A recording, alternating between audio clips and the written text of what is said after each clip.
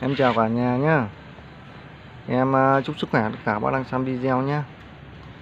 Thì ờ, bây giờ là buổi tối Tầm như là bảy rưỡi, tám giờ gì đó.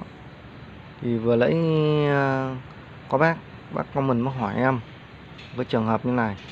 Bác hỏi em là cái cây phi điệp của bác mà có một số cây nó bị yếu. Bị yếu thì bây giờ chăm sóc như thế nào? Thì cái câu hỏi đấy nó cũng hay lắm.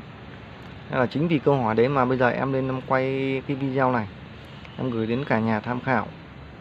Đấy, thì biết đâu được là giúp ích được cho một số bác mà cũng gặp cái tình trạng như này nhé cả nhà nhé thì uh, trước tiên uh, em nói về cách uh, chăm những cái cây mà cây phi điệp yếu như hai chậu này của em.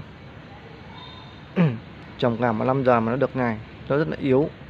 Thì trước tiên em sẽ nói về cái nguyên nhân nguyên nhân mà làm sao mà nó gây cho mình cái tình trạng cái cây phi điệp của mình nó bị như này nhé cả nhà nhé thì có rất nhiều nguyên nhân. Thì em biết được hai nguyên nhân này thì em sẽ chia sẻ hai nguyên nhân này tới cho cả nhà nhé thì cái nguyên nhân thứ nhất ấy là cái cây phi điệp của mình ấy nó còi như này. Thì cái bộ rễ nguyên nhân đầu tiên nó là cái bộ rễ. Cái bộ rễ của nó bị hỏng. Đấy, nó bị hỏng bị thối bị hỏng thì nó dẫn đến cái tình trạng là cây của mình nó không phát triển được. Thì hiện tượng mà phát hiện ra được cái cây mà bị hỏng rễ thì cũng dễ phát hiện ra lắm cả nhà. Thì cái nhất là cả, cả nhà thấy cây mình nó chậm phát triển là một này. Và thứ hai nó có tình trạng là nó rụng lá. Đấy, nó vàng lá nó rụng lá. Thì trăm phần trăm là cái bộ rễ của mình đã bị hỏng. Đấy cả nhà nhé và cái nguyên nhân mà nó gây đến khi bộ rễ của mình nó hỏng ấy thứ nhất là con côn trùng. Côn trùng có trong lá thể nó sẽ cắn phá cái bộ rễ của mình là một. Và cái nguyên nhân thứ hai ấy, là cái giá thể của mình nó bẩn lấm khuẩn nhiều nó cũng gây cái chết bộ rễ của mình. Thì khắc phục bằng cách như này thì khi cả nhà phát hiện ra cái trường hợp đấy, đấy thì cả nhà là bóc cả bóc cái cây lan này ra cho em. Đấy, bóc ờ, ra xong rồi mình xử lý lấm khuẩn bằng cồn. Đấy, mình xịt cồn sạch vào cái bộ rễ đấy. Và sau đó mình lấy kéo mình cắt tỉa những cái rễ hỏng đi. Có những cái rễ nào mà còn dùng được ấy vẫn sống ấy, thì mình giữ lại. Chỉ lên cắt những cái rễ hỏng đi thôi. Sau đó cả nhà trồng lại nhé cả nhà nhé trồng lại chậu mới cho em.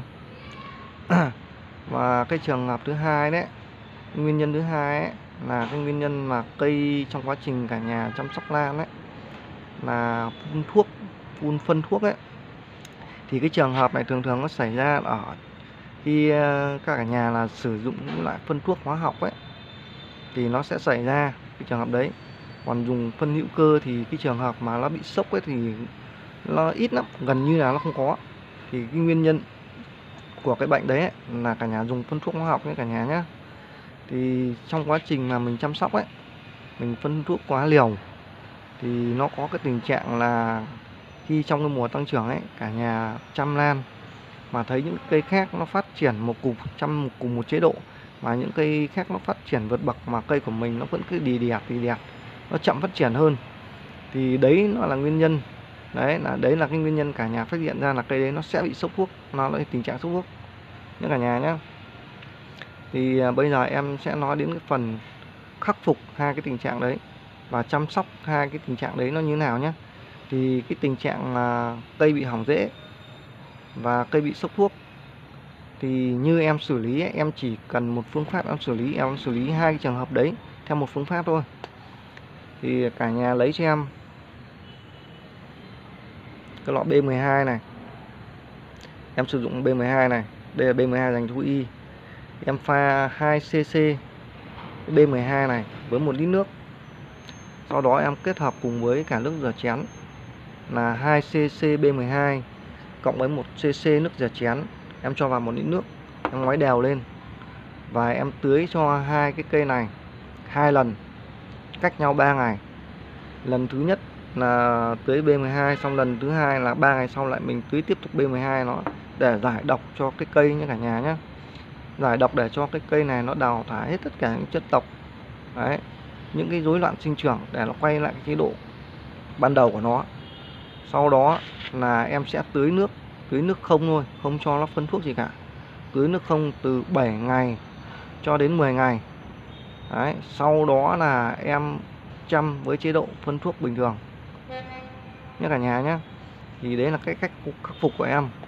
Thì cái khắc phục đấy là với điều kiện đấy là cái cách mà khi em khắc phục là trong cái mùa cây lan nó vẫn phát triển nhé cả nhà nhé mùa tăng trưởng ấy vẫn phát triển, thì đấy khắc phục.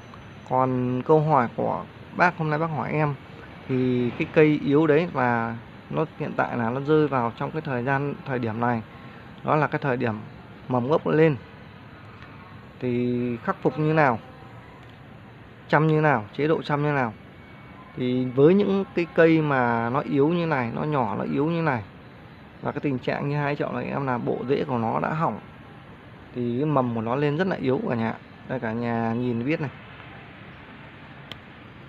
Hai cái mầm gốc nó lên rất là nhỏ. Đây mầm gốc rất là nhỏ nha cả nhà nhá. Đấy. Đây, cây này cũng vậy.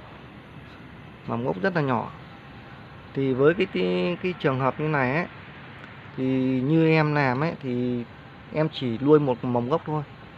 Cái này thì không cần phải xử lý một cái gì cả mà mình chỉ nuôi cái mầm gốc thôi cả nhà. Thì ví dụ như là một cái thân này nó có hai cái mắt gốc. Thì ví dụ như cả nhà kích nhé cả nhà kích thì cả nhà chỉ lên kích một mắt thôi cho một mầm gốc ra thôi. Đấy sau đó là mình nuôi cái mầm gốc này khi dễ nó ổn định và nó dài được độ dài của nó là tầm 25 cm đến 30 cm thì lúc đó bắt đầu em mới tiếp tục em kích cái mắt còn lại. Đấy coi như em lấy thêm một cái mầm lỡ nữa. Thì cái bộ thì à, như thế trăm à, như vậy ấy, thì cây nó sẽ không bị yếu. Cái mầm gốc của mình năm tới này nó sẽ không bị yếu. Nhé cả nhà nhé thì đấy là cái phương pháp mà em chăm như vậy nó cũng rất là đơn giản nó không có cái gì khó cả.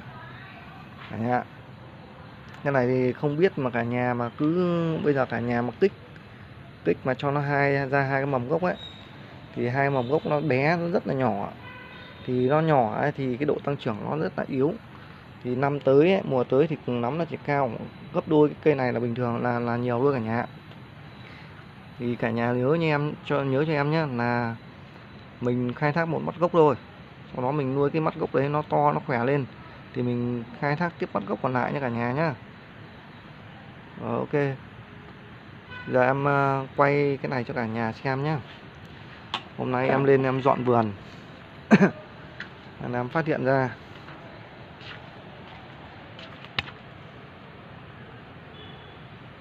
Đây cả nhà này.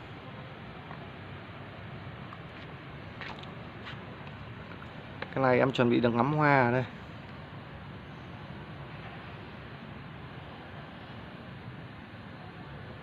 Đấy, nó đang lụ này cả nhà này. Cái này là hôm vừa rồi là em kích em kích đầu ngọn. Thì cái chậu này ấy, nó là cũng cái chậu hòa bình mà em khoe với cả nhà, mà cái lô em nhập bảo hình về mà bắt hồng ấy. Mà trong đó có cây này của em này. Cây này mà em bắt trượt hồng ấy thì cái cây này đây cả nhà, hôm nay em cũng phát hiện ra. Đấy, cả nhà nhìn chưa? Nó đang có cái lụ đầu ngọn đây. Thì cái này sắp được ngắm hoa lại rồi. Và một số chậu nữa. Đây nữa cả nhà. Thì cái cây này của em là cũng bắt sổ số hồng đây. Là cùng cái lô hòa bình hết đấy cả nhà. là thời gian ờ, tới này là em có một số cây để em ngắm hoa rồi.